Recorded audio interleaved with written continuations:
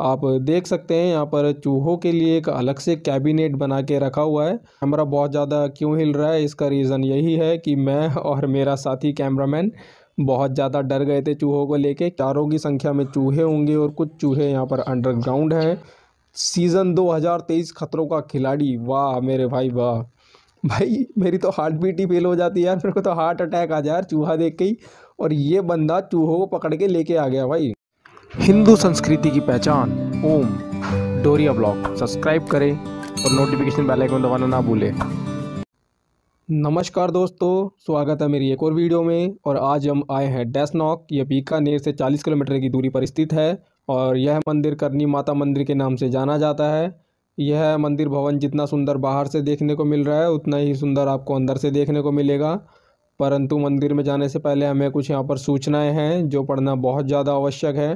तो सूचनाओं की तरफ़ हम जाते हैं तो यहाँ पर लिखा हुआ है, करबों के लिए जो दान होते हैं मतलब करबे यानी चूहे, राजस्थान में जो करबे होते हैं, उनको चूहों के नाम से जाना जाता है और करनी माता मंदिर में तो चूहे की जनसंख्या बहुत ज़्यादा होगी। गाइस, जैसे ही मैंने मंदिर के अंदर प्रवेश करा तो मुझे एक अलग सी सुगंध आई। जैसे हमारे घर में आमतौर पर घरेलू चूहे होते हैं, वैसे यहाँ पर मुझे बहुत सारे चूहों की महक आई और आपको मंदिर में घुसने से पहले ही चूहों की स्मेल आ जाएगी। आप देख सकते हैं यहाँ पर चूहों के लिए एक अलग से कैबिनेट बना के रखा हुआ है और इन चूहों को यहाँ पर चना, गेहूँ, बाजरा, मक्का, गुड़ इत्यादि दान भेंट किया जाता है और इन्हीं से बाद में प्रसाद भी बनता है। मंदिर में जाने के बाद दर्शन हुए, परंतु मैं आपको ये फ़ोटो नहीं दिखा पाया क्योंकि मंदिर में कैमरा लाउ नहीं था। और आप देख पा रहे हैं यहाँ पर चूहों की जनसंख्या कितनी है और कैमरा बहुत ज़्यादा क्यों हिल रहा है, इसका रीज़न यही है कि मैं और मेरा साथी कैमरामैन बहुत ज़्यादा डर गए थे चूहों को लेके, क्योंकि चूहे जो थे वो हमारे पैरों के ऊपर से भाग रहे थे और मैं और कैमरामैन इतना ज़्यादा डर गए कि वॉइस नॉइस भी मैं घर पे आके मुझे करना पड़ा। आप देख पा रहे होंगे कि यहाँ पर ये इतने सारे टनल्स आ रहे हैं, ये सीवर लाइंस के लग रहे होंगे आपको। पर मैं आपकी जानकारी के लिए बता दूँ कि ये जो टनल्स हैं, ये कोई सीवर लाइंस के टनल नहीं हैं। यह टनल मंदिर के अंडरग्राउंड तक जा रहे हैं और दीवारों में से होते हुए मंदिर के अंदर भी जा रहे हैं।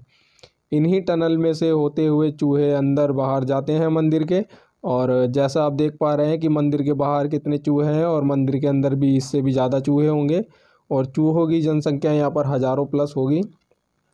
और ये चूहे इतने सारे हैं यहाँ पर यार, मैं तो बहुत ज़्यादा डर गया इन चूहों को लेके प्रवेश कर रहा था। पर आप देख पा रहे होंगे, हमारे बीच में यहाँ पर एक खतरों का खिलाड़ी भी है, उस खतरों का खिलाड़ी का मैं नाम आगे लूँगा वीडियो में। पर हम, अभी हम लेकर चलते हैं आपको मंदिर के अंदर, जैसे ही हम परकम्मा लगाने के लिए मंदिर के अंदर गए तो यहाँ पर चूहे मतलब पैर के बिल्कुल करीब ही थे, दाएँ बाएँ चूहे भाग रहे थे।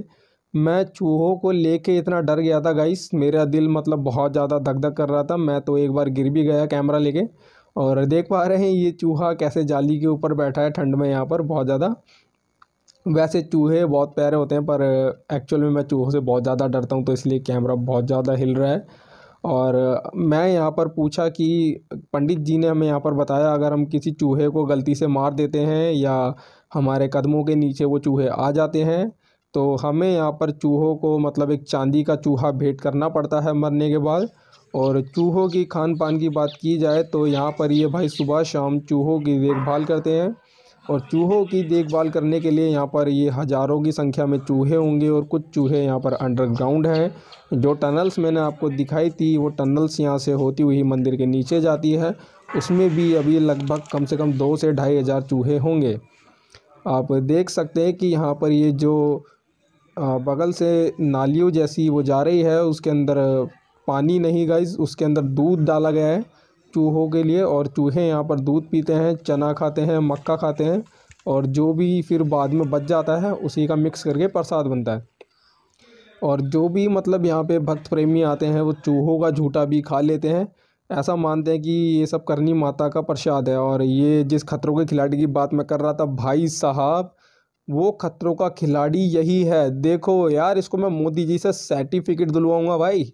मोदी जी से छोड़ो, इसको अक्षय कुमार के साथ खड़ा करके मैं बोलूँगा, ये जीता चैंपियनशिप सीज़न 2023 खतरों का खिलाड़ी। वाह मेरे भाई, वाह। भाई, मेरी तो हार्ट बीट ही फेल हो जाती है यार, मेरे को तो हार्ट अटैक आ जाए यार चूहा देख के ही। और ये बंदा चूहों को पकड़ के लेके आ गया भाई। देखो यार मतलब भाई रहने दे यार, क्या ज़रूरत है तेरे को चूहों के बीच में जाने की यार? वीडियो बन रही है, बहुत है। पर नहीं, भाई को तो पूरा कंटेंट लेके आना है यार, काट लेगा वो चूहा यार, डर उससे। भाई लेकिन ये नहीं डरेगा, अभी देखना यार, यहाँ मेरे पैर के पास एक चूहा बैठा है, ये उसे भी पकड़ लेगा, भाई यार, सुधर जा। भाई कैमरा मैन तो उठ के भाग ही गया था लगभग यहाँ से, फिर भी मैंने कंट्रोल करके उससे बोला वीडियो बनवाने के लिए।